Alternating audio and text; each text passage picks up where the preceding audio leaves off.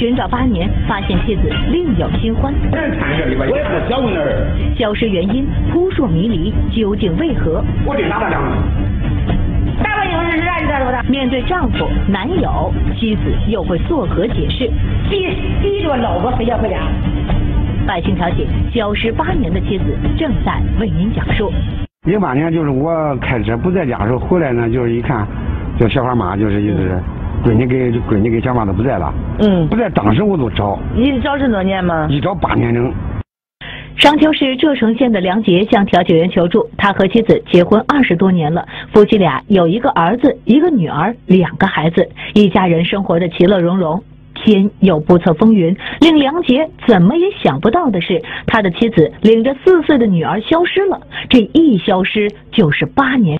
俺刚开始本来过得也懈怠，不想这个穷富八种人是吧？也没啥矛盾。俺媳妇这个人呢，她的意思还没俺心眼多。你要是你这你要搁农村，对，你要搁农村说，你要搁农村说的，就觉得有点傻。据梁杰讲，妻子离家出走的时候，他没和妻子吵架，也没有和妻子生气，在没有任何征兆的情况下，妻子带着女儿离奇失踪了。八年来，他东奔西走，苦苦寻找，一直没有妻子和女儿的音信。这个两三年，才知道才找着才找着这，实际没多远，就在俺县城东关来。这俺没有离婚，他现在据我了解，他跟一个男人在生活，这个男人没家属。让梁杰感到困惑的是，自从妻子离开八年来，他一直没弄明白妻子离他而去的真实原因。他想通过调解员看看妻子到底是怎么想的。随后，调解员跟随梁杰见到了他消失八年的妻子月华。他离婚离婚多少年了？离婚十多年。你叫你叫手机拿，你把手机拿我看看呗。呃，他说的，他给俺打电话说那两个没离婚。走，我叫你看我证件去。走走走。一人一两两份的，他撕了给他一份，他撕了一份。哦，你叫我看见了。他始终他始终不同意。月华的话让调解员很吃惊，他怎么说已经和梁杰离过婚了呢？是梁杰对调解员撒谎，还是月华没有说实话呢？调解员跟随月华回到了家中。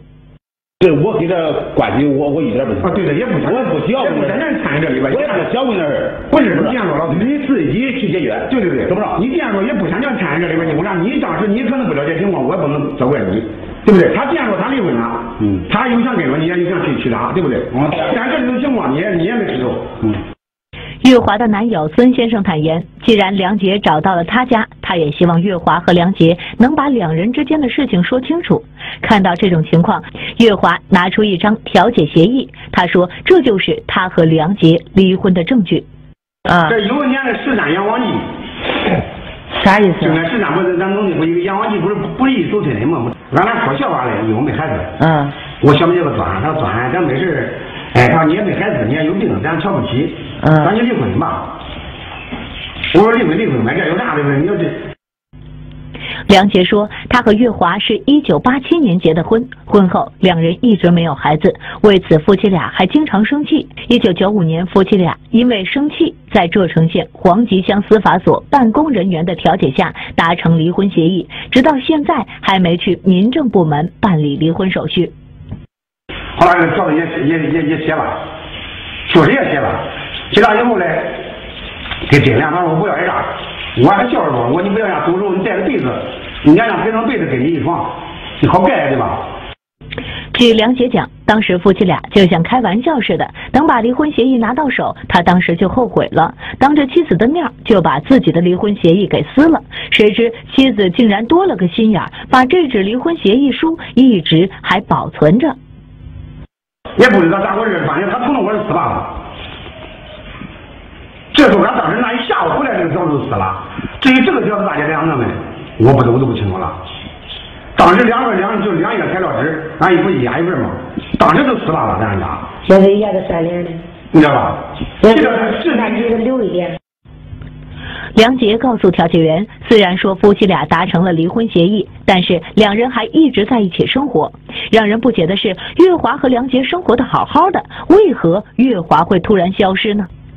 要月华领了闺女出来，他跟我说一声没有？凭啥跟你说？就那三亩地，一个老娘八九十了，俩小孩一一天天长大了，一不挣，指望啥呀？对对对，你说的很对，就就就因为这吗？就因为这。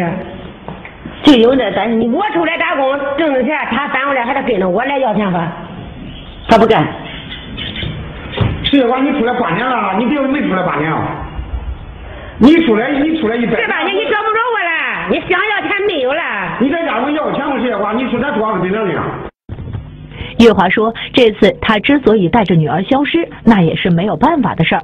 自从她和丈夫结婚，丈夫是好吃懒做，整天无所事事，一家人靠三亩地过日子。为了摆脱贫苦的困境，她选择在县城做生意。她不带孩子，我俩带着两个孩子在这上学，我还卖东西，带着两个孩子送到学校里就出出来卖东西。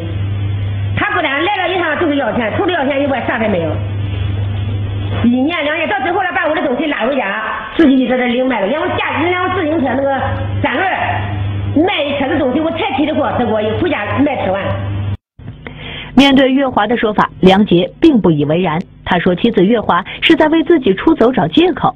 当初妻子走的原因是，妻子在这城做小生意，认识了一个安徽的男子。妻子在他不知情的情况下，跟着这名男子跑到了安徽。找王王家了。”等家北大小吃站，人家那个就嘛南方小，对，人家是跑江湖的卖钥匙链的卖刮胡刀的这个何展燕。月华承认，他在安徽住了半年，在安徽这半年，他很想念自己的女儿。在女儿过四岁生日的时候，他回来看望女儿，没想到被丈夫发现了。第第一个老婆非要回家，老回家了，他还让我回家了，他把我弄回家去，还是几个人拉着拉车的车弄回家去，弄回家去看半年。那看着你半年。对呀，看着自己的两个孩子，月华心软了。她想着留下来和丈夫好好的过日子，没想到丈夫不仅天天防着她，有时还会动手打她。她回来，她回来的时候也给真良也也过日子，他都讲透了，我原谅她了。嗯。我说你跟这个男的差，嗯。为了孩子，你不能再联再联系了。嗯。他是一天几回电话打，我得打他两回。打我一回是啥？你知道不？啊。他还要要我。我不稀罕他，嗯，我就不稀罕你，我只是跟着别人，我就我嫌我自己脏，我对不起你了，不见你找我，就因为这，天天找事。月华在家住了半年之后，她无法忍受丈夫在家天天防着她。趁丈夫不在家，她带着四岁的女儿悄悄离开家，再次回到了安徽。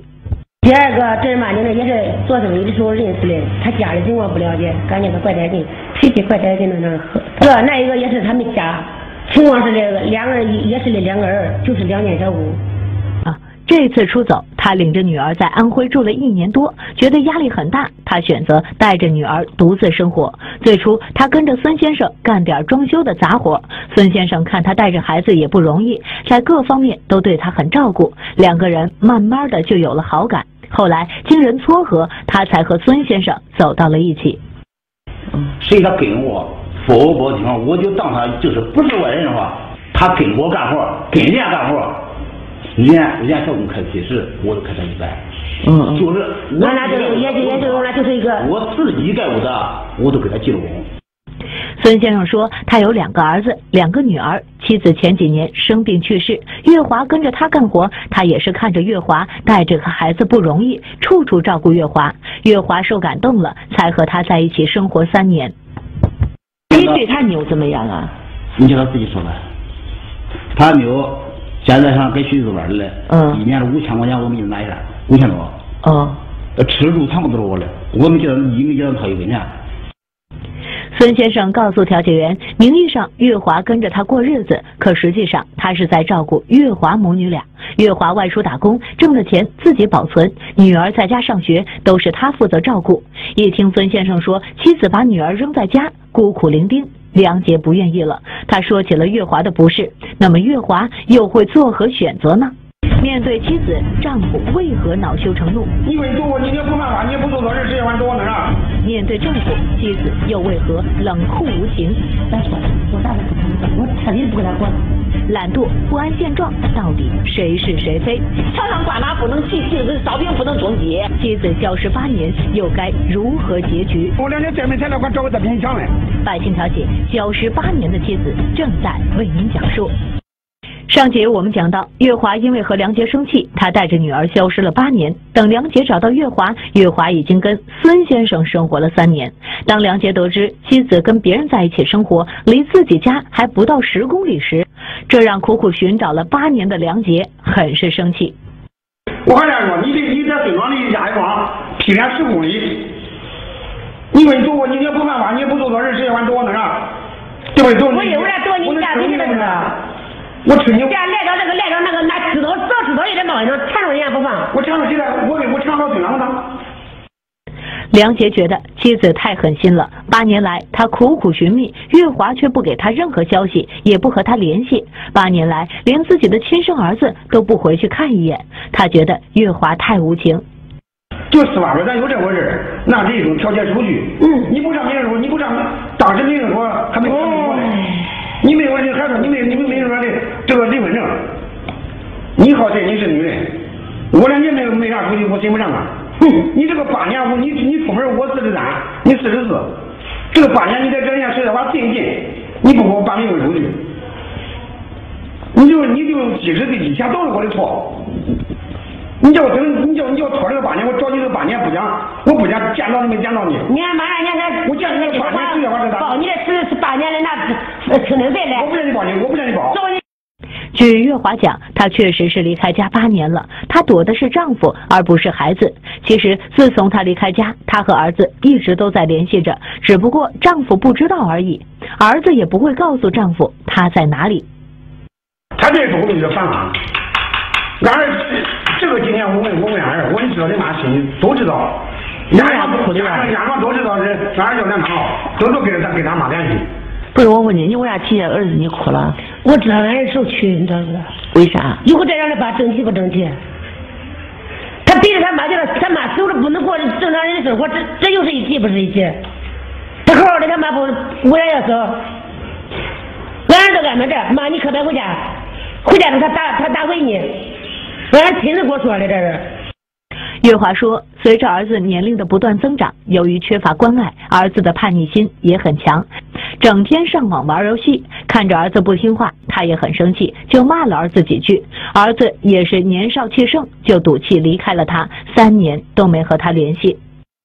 我也不想去跟他联系，没啥意思。你给那个打个电话让我问他呗。你多长时间没见过恁妈了？从他从车上走那一年。这都也是三年了吧？恁爸属于一个就是说好吃懒做的一个人吗？反正就是光想着光想着那个路上路上掉馅饼来着。那一辈子都光想着，所以说前功尽弃，大钱也没挣来，小钱也丢了，是这样不是？恁妈呢？在在你印象当中，恁妈属于个啥样的一个人呢？也不好说。为啥不好说。呀？他以前走的时候，我那时候我还并不大，还不懂那事呢。梁杰的儿子君君在电话中告诉调解员，对于妈妈的选择，他能够理解，因为爸爸妈妈在一起生活时，两个人总是吵架，有时候甚至还动手，这对他伤害很大。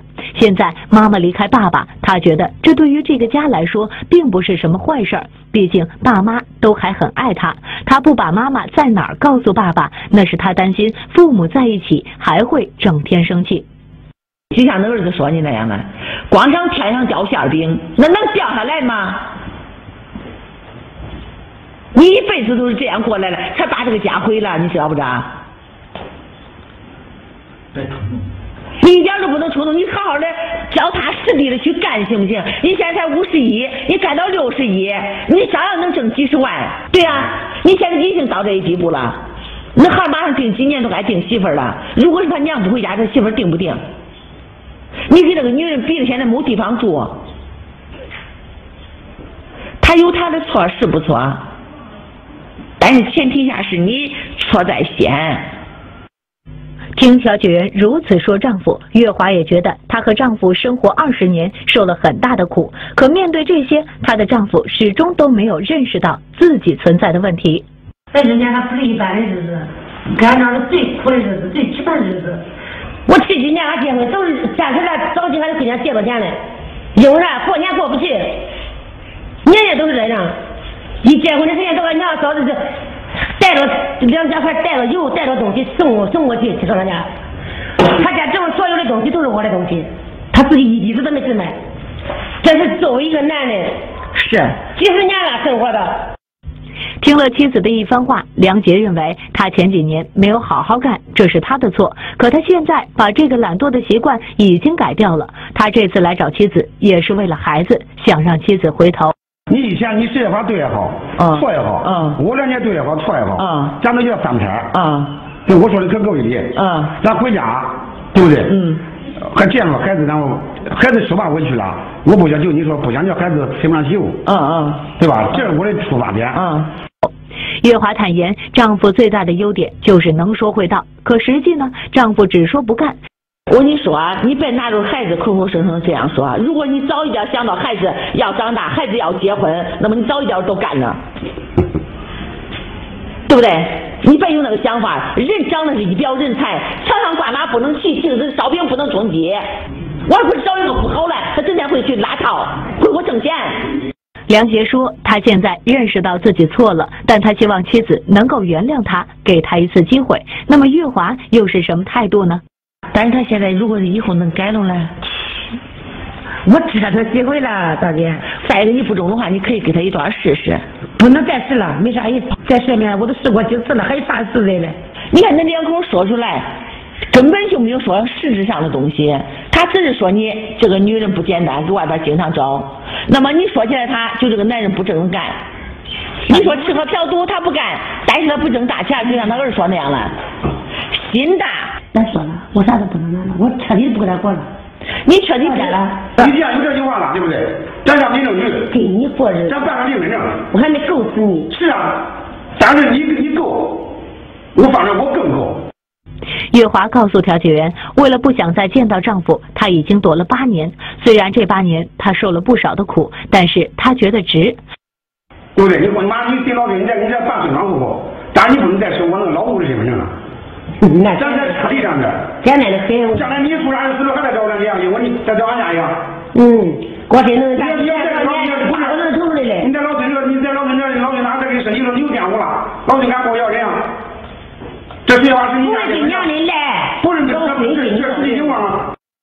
对于月华，孙先生也有自己的看法。他说，当初和月华走到一起，他单方面以为月华有离婚协议，就等于离婚。直到梁杰找到他家，他才对月华手中持有的离婚协议是否合法产生疑问。因为月华的户口还在梁杰家，户口本上两人还是夫妻。月华这样和他生活在一起，他也不踏实。我给他打结婚打不成，嗯，呃，两姐跟后的追着他不放，我信我咋咋还有底儿嘞？那你为啥不早点跟他撵走了？你知道他这样了？我我这个人他也不是说很坏，嗯，我把他撵走，他连地方住都没有，他还一人人家人房子。孙先生说，直到梁杰找到他家，他才知道事情的真相。如果月华为了孩子愿意跟梁杰回去，他也愿意放手，尊重月华的意见。月华说，家里还是老房子，生活现状和二十年前一样。那和他要如果房子盖好，你能回家吗？我还没在。你还没在你，那个人将来以后娶媳妇儿不娶？你说话简直站着说话不腰疼啊！我没办法。你为啥没办法？你你听他说，你看看他说啥没？你要再走一步两步，我还原谅你。调解员觉得，如果月华真的觉得和梁杰生活不下去，他应该去法院起诉，或者是去民政部门办理离婚证，而不是悄无声息的丢下孩子消失。月华这样做不仅伤害了孩子，还伤害了家庭。面对调解员，月华承认自己做错了，但是他已经无法回头。看到月华决心已定，调解员劝起了梁杰。是这个女人离开你八年，但是在这八年当中变化很大。现在已经在法律上来说，咋说呢？恁俩是夫妻，在人情上来说，已经没有一点人情味了都，已经到这一地步了。不是快刀斩乱麻，前年就没有找到，现在找到他了，立马跟他去办个离婚手续不就完了吗？梁杰口口声声说要和月华办理离婚手续，当月华答应去民政局的时候，梁杰再一次责怪月华。